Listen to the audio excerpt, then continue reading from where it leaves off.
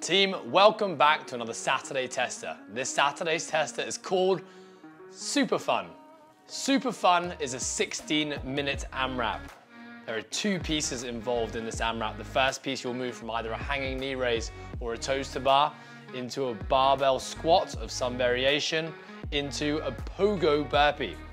Once you've moved through that, the next piece will now be a pull-up or chest to bar variation, another squatting variation, and another pogo burpee.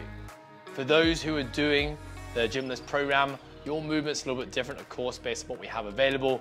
You'll be moving through a push-up, a squat, and a burpee, followed by a sit-up, a squat, and a burpee. You will also be completing a 16-minute AMRAP. As always, there are some unique differences between the three different programs that we have for Live Perform Compete. We really want to make sure that you're reading the right program and getting the movements right. What is this workout testing? Well, the cool thing about this workout is whilst the movement patterns remain the same, some, some movement on a pull-up bar, some form of squatting pattern, and some form of burpee, there is some variance within the workout.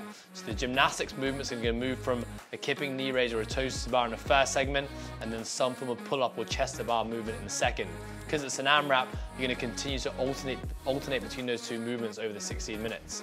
Now the squatting variation is gonna move from an overhead squat to a front squat for those in perform compete. So again, you'll be moving back and forth between two different squatting variations.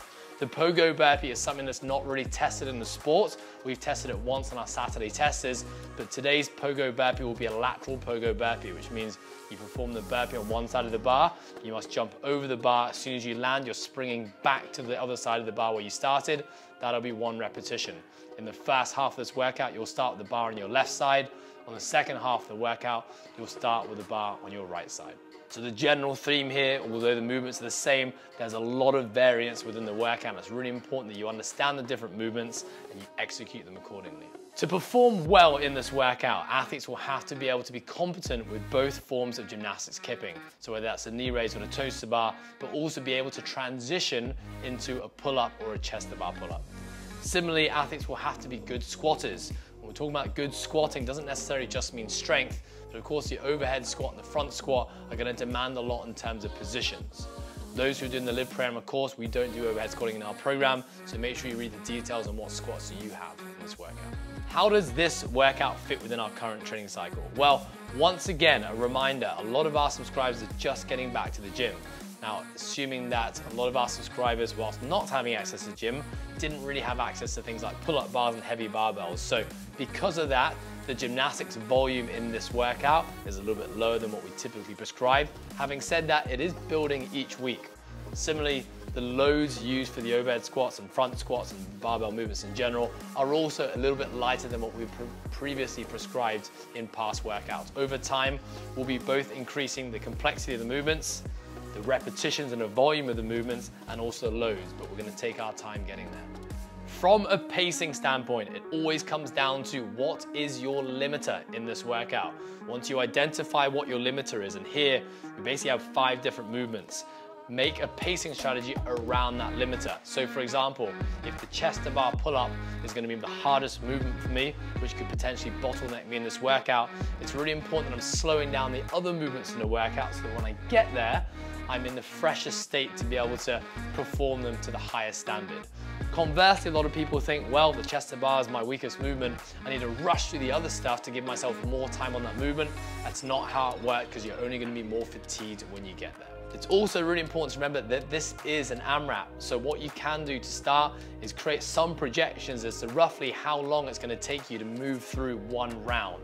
If one round is gonna take you 16 minutes, that's gonna be a very different workout to someone who can move through one round in six to eight minutes because they're gonna be repeating a second round.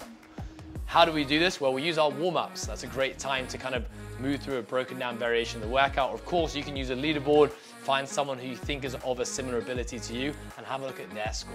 Probably the biggest potential limiter or the biggest potential bottlenecker in this workout for most people is going to be the gymnastics movement because there's a skill piece there and it's local muscle endurance of the grip, the biceps and the lats Going too hard too quickly on those repetitions could mean that you're gonna be standing there resting, looking at the pull-up bar, waiting to recover in later rounds. So early breaks there is gonna be really sensible. Similarly with the squatting movements, although the load's not that heavy, you are completing 40 squats per round. So if squatting is not a strength movement of yours, again, breaking those up into small manageable sets from the start would be a good idea. To close, to all of our online subscribers, make sure you put your scores into WODUP. Remember these Saturday testers, we most likely will be retesting it at another point in time. So it's great for you guys to have a benchmark to compare to. For those who don't subscribe, firstly, you have a 14 day free trial. So if you wanna give it a go, sign up and enjoy your 14 days. Otherwise, grab a friend, throw down and put your scores in the comments below.